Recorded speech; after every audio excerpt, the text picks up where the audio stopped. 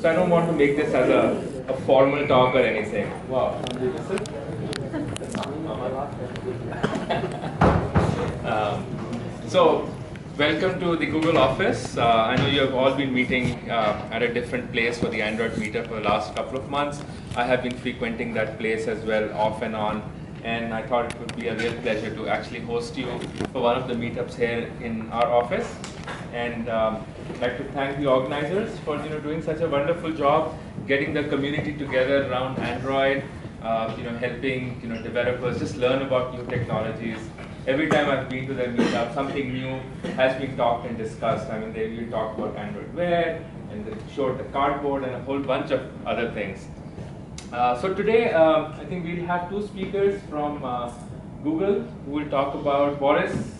Will talk about material design. Is that right? That's right. Perfect. So Boris and I work in the same group, which is the developer relations team, and uh, uh our job here is to essentially help the local developers be successful uh, around Google tools and technologies. we also run this program called the Google Developer Groups, which is again a similar kind of a program just like the Android user group, the Google developer group focuses on a broad set of Google technologies. We also have a program called the Google Business Groups, which is essentially focused for helping developers and business users become more successful with their applications by incorporating the best practices on marketing, advertising, using the right tools and technologies. So building a successful hmm. app, making sure it's being able, you can monetize that and make money of that, that's actually very, very important. So between the Android user group, the Google developer groups, the business groups, I think you should get a very well-rounded information about uh, everything that Google actually has to offer. So I'll not take uh, any more time and have uh, Boris come and then after that, Selena is there well. She's going to talk about cloud. Um, oh, Melina is talking first. Okay. Oh, I should have seen that. So, over to you. You guys want to say anything? Uh, Kenny, you want to just do the introduction? You have your Android first slide. Oh, okay. All right. You guys can hear me? Yep. Mm. Is the mic working? It's not really. Yeah, it's working. Oh, it's working. Yes, so just get closer.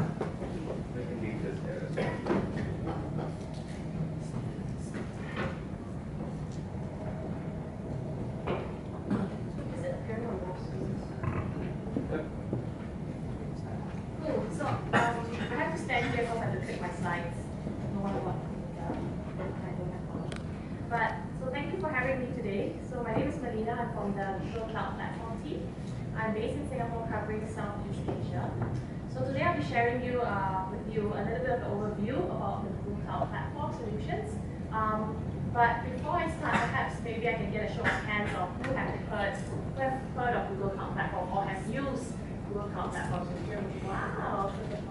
Really? All those hands at the just came out at the end. About 20% of you that have heard of Cloud Platform. How many of you have used Cloud Platform? Okay, okay, not too bad. So because today is just a very high level overview, um, if any of you are interested, we're going to be organizing the first Google Cloud Platform Day at the end of November, so there's my little plug for, for my stand. Um, so during that time, we're going to go in, in depth into the product, um, in particular compute engine, app engine, and BigQuery, and we'll have our um, our sales engineer be talking about those things. So it gets pretty technical, so if you're looking for a pretty hands-on uh, session, this will be it. Uh, and uh, because the link is just too long to put up there, if you are interested, you can email me. My email is just melina at google.com, and I will just send you the Okay, so let's get started. So I'm going to give you a little bit of a history of how Google Cloud Platform came about. So I'm sure everybody here is very familiar with Google Search, right? So Google Search was really the first service uh, that, that Google created. So it was created by our founder at a time where really no one put too much effort in search. There were different search engines now, but not the way that wanted it to be. And as search became very, very popular, uh, it became a billion user service. And as it became a billion user service, we needed for the infrastructure to support that. And of course, no one was able to actually support that. So we had to build our own servers. So at the end of the day, we really consider ourselves an infrastructure company. I'm not sure anybody, many people know this, but we're actually one of the world's largest server manufacturers. We actually decide how to put the parts together, we decide how to design it, we decide how to cool it. And this is really the foundation for the services that uh, consumers know and love. So things like search, Gmail, uh, Maps, uh, Chrome, Android, and YouTube, they're all run on our infrastructure. And the last icon there is actually the Google Cloud Platform because actually the Google Cloud Platform is us making the very same infrastructure that we built all the Google services on and make it available for customers to use. So at the end of the day, you are able to use the same tools, systems, and processes that our developers are at use, with the same kind of performance, reliability, and cost, and, and, and yeah, cost. So that's infrastructure. And uh, we are also pretty unique in the sense that we are the only IS, non-ISP in the world that have our own, that have made our own submarine cables, right? So we have made our own fiber optic uh, cables on the ocean all over the world. And we also peer directly uh, with the major ISPs. Uh, so what this means is that for our services and also for our customers' uh, services, it actually reduces latency and increases, increases the performance for your application. Right? Uh, so that means if we, we, you handle your traffic, we actually take that traffic and pass it directly to the end ISP. Um, and I think right now the world is talking a lot about uh, software-defined networks, um, and things that Google has been doing this. Um, we have run on the global open flow two years already. Uh, this really helps us to improve uh, operational operations and also improve uh, decrease cost and improve performance for our network. So we have this network that connects all our data centers all across the world. Um, and then uh, in terms of software, we're very, very much um, a, a, computer science company as well.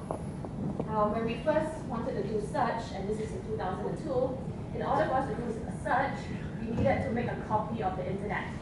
And there wasn't a technology that enabled us to do that, and so we invented one, and we called it uh, the Google File System, GFS for short. And once we did that, we needed a way to query this data set. And so we came up with MapReduce.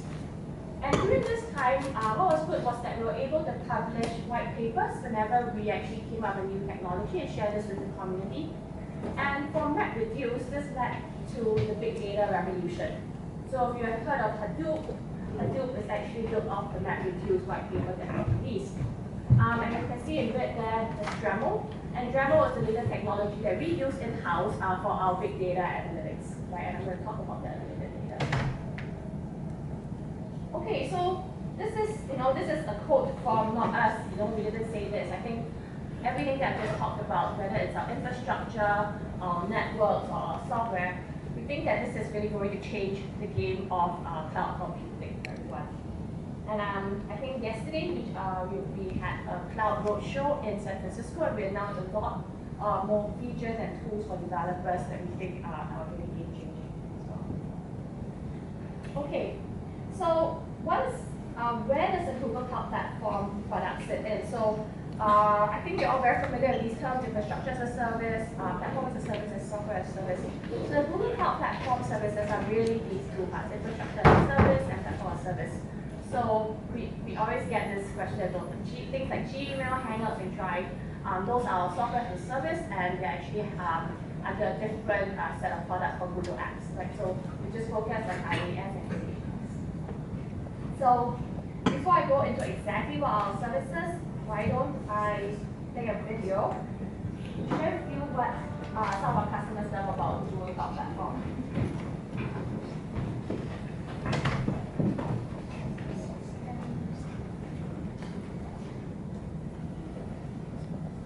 The things I love about Google Cloud Platform is uh, scalability, fault tolerance, and performance. Performance. App Engine. BigQuery. The scaling ability. We've been able to scale from thousands of users to millions of users. It allowed us to focus on our product and we grew really fast. Because of the Google Cloud Platform, we could make investments in our product first as opposed to infrastructure. So we could iterate really quick on building the right product. Yeah, so it's a really short video, but I think um, with the video you heard snippets of um, the different products that we have, App Engine, BigQuery.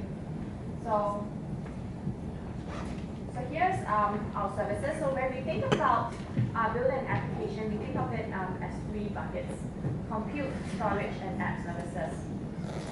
So in terms of compute, uh, we have two services. Actually, we have three, but I'll talk about that a little later. Um, we have infrastructure as a service, is compute engine. Uh, this is basically uh, virtual machines uh, that are that they are connected via a global private network. Um, meaning we have one server in, we have one VM in Asia, another VM in uh, America. They actually talk to each other as though they are on a local network, and this is because we basically have our own network, what I mentioned earlier. Um, uh, for App Engine, this is our platform as a service. So platform as a service, really all you care about is writing your code and your application, and you leave everything else to us. So we provide the whole everything um, helps with scaling. So basically, all you need to do in App Engine is to indicate uh, response time. So for example, you indicate that you only you want your response time to be 100 milliseconds to your users. You set SLA. And whenever we hit beyond that response time, uh, App Engine automatically spins up new instances. Right. So it's very easy to set up, uh, very low management, and you don't really you don't need a system administrator. So I want to go in depth into these two products. So here are some key features uh, for infrastructure as a service offering, which is Compute Engine. Um, and the reason why we have this here is because I know that um, a lot of you might be on other cloud providers, right? And other cloud providers may not have some of the things that I'm, I'm, I'm, mentioning in this slide. So one example is sub-hour billing. Uh, a lot of cloud providers, they actually uh, bill by the hour, right? So if you only use 15 minutes, you actually have to pay for the entire hour anyway. Um, for us, we bill for the first 10 minutes and every minute after, right? So you only pay for what you use. Um, and for our VMs, you can mount up to 10 terabytes of persistent disk. Uh, and I know other cloud providers, you can only mount up to one terabyte. And we also support SSD persistent disk. Um, and in the, in the um, event yesterday, we announced we also support the local disk and IOPS uh. Uh, we offer snapshotting. We have over 64 instance types. So whether it's standard, high memory, uh, high CPU, we have a lot of options and flexibility to choose uh, the VMs that you want. Uh, we have advanced networking, and this is things like uh, VPNs. Um, we also have this is live migration. So live migration is something very, very, very unique to us. Does anyone know what live migration is here? Okay, so live migration um, is very specific to Google. Um, and what it is is if you are, if you have an instance running in a particular zone of a data center, um, for other cloud providers, and if, if they're doing a maintenance, say they're doing a patch in that in that zone, right? What they'll do is they'll send you an email, right? And they'll say, okay, this notification of uh, downtime maintenance, and you guys have to move your application somewhere else. So it's a lot of work on the developer's end. For us, what we do is if there's a maintenance down a certain zone, we automatically move your instance from one zone to another zone and back again. Right? So you don't need to do anything. So we call this live migration because it literally live on its own and comes back again without any interference.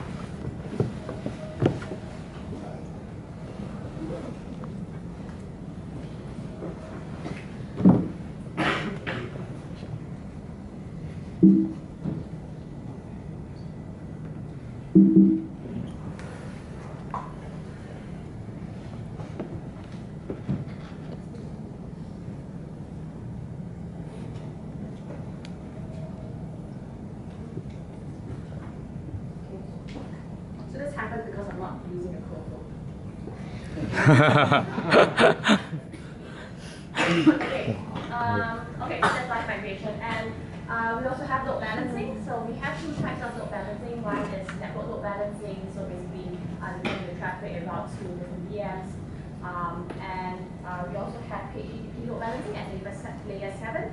So it actually routes to different uh, zones or data centers depending on the locality or geographical locality of, your, uh, of the user. Um, we also have faster boot times and auto restarts of the app. So this is, um, so I've always heard, I've heard some customers say that, you know, infrastructure as a service, um, virtual machines is very much becoming a commodity, right? So I believe it is in some ways, but not, in, in other ways it really isn't, right? So there are clearly some technological advances I believe that Google has that our cloud, that other cloud providers don't have. So don't take my word for it, but this is done by a uh, third party. So uh, he has a blog, I think he's a guy from Scalr. And he actually tested Google Compute Engine with uh, another leading cloud provider. No names, but we all know who it is. So they tested it on three fronts, uh, latency, bandwidth, and instance creation time. So as you can tell um, in the graph, we perform pretty well, right? We perform better than the other leading cloud provider on all fronts. But I just want to call out to uh, instance creation time. So for instance creation time, not only are we faster, we are also very, very consistent. Right? You can see that uh, the other leading cloud provider, it fluctuates quite a bit from, uh, you know, it can go up to two to three times more than uh, the, the, the, minimum. So, for us, you know, we keep, we keep about 30 to 40 seconds instance creation. Okay, um, and App Engine. So App Engine, I believe, is truly a, a pretty, very, very unique product. Um, I don't think there's anything in the market that's very similar to it at all. Um, it's platform as a service. Uh, you only write your code. You don't care about anything else. Um, it allows for scalability, versatility. It's very, very easy to set up. And um, for speaking to many of the customers, what they really like are you know some of the features that we have, like cloud endpoints, uh, which helps you to generate um, uh, client libraries for iOS, Android, and JavaScript. Um, Memcache and Task Queue. So all these really makes it very, very easy for them to create uh, mobile applications. So um, from my understanding, startups really love this product. And it has been one, it's actually one of our first uh, GCP products that we launched. Okay, so I talked about infrastructure as a service and platform as a service, and I think in the traditional uh, cloud computing world, these two things have been seen as very, very separate, right? Infrastructure as a service, where you have full control of, all the VMs, and platform as a service, where you know just this ease of management. But we think that it shouldn't be so so so separate, right? Um, so that's why we are blurring the lines between IaaS and PaaS, and we have something called uh, managed VMs. So managed VM sits in between these two. So for platform as a service, we we require the developer to write in uh, one of the four major languages, programming languages, like Java, Python, PHP, and Go. So if you're not running on any of these languages, means you can't use that as a service, which is quite a pity because you might really, really not want to care about VMs, but yet you can't use it of that. now you're able to do so with managed VMs. So managed VMs really gives you the ease of management um, from platform as a service, but essentially you're actually running on uh, uh, one hour VMs. So this gives you, uh, you know, flexibility of both worlds. So this thing at uh, managed VMs is currently still in beta, but hopefully will come come out uh, to be uh, live for general general accessibility. Okay, and then we move into storage. So in terms of storage, what we're really giving you is um, all the kinds of options that you require. So we have three. Hopefully we'll announce more, more, more solutions on storage front. Um, so with cloud storage, cloud storage is really just an object store. Um, and some of our customers use this for archival purposes, for storing uh, really large files, like video files or image files. Um, we have Cloud SQL. So Cloud SQL is a my, a MySQL um, fully managed uh, relational database. And we have Cloud Data Store, which is a NoSQL um, uh, database. And lastly, we have um, BigQuery. So with sorry, app services. So with app services, um, you know, the key thing really is uh, BigQuery. And Query is um, it's our big data analytics as a service offering.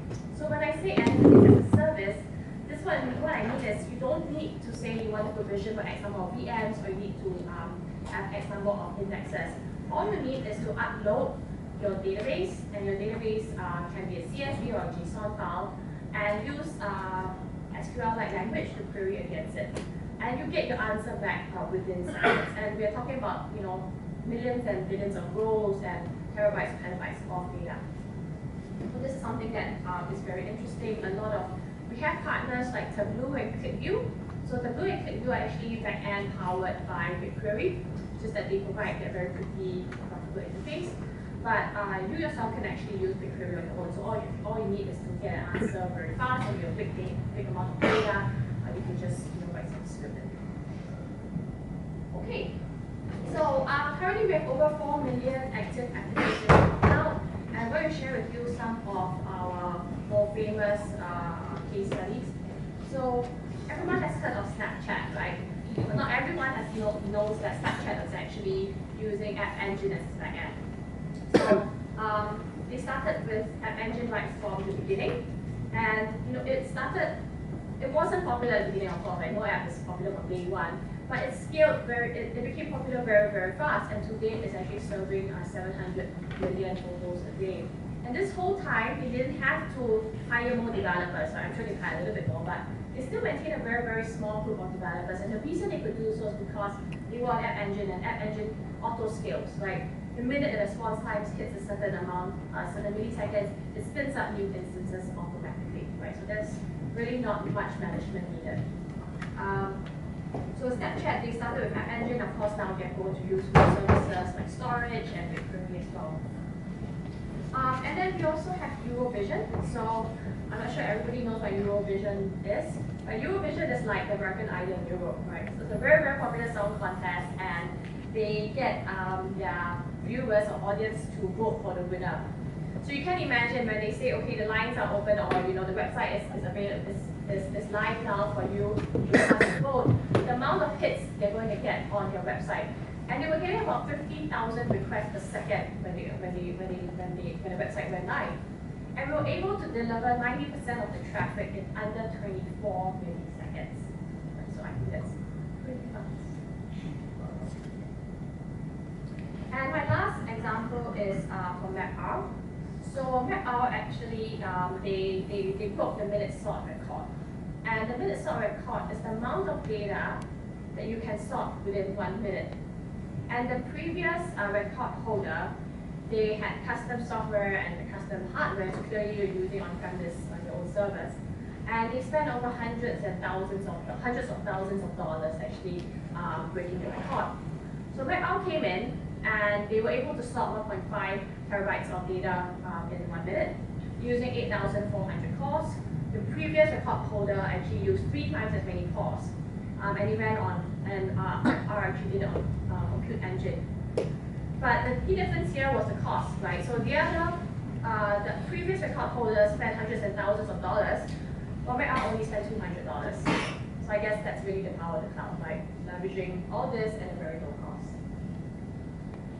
So here are some more examples of our partners. So you can see some of them that I mentioned earlier, Tableau, QlikView, uh, Panzura, MapR and uh, some of. So we have, I talked on Snapchat, but we also have other very, very famous customers like Mobile, Khan Academy, Best Buy, uh, House. Um, yeah. Uh, yeah, and Pocket Gems as well, so it's not here. But, yeah. Let me play another video. Uh, so this is specific for gaming. Uh, are there any gaming, gaming developers here? No,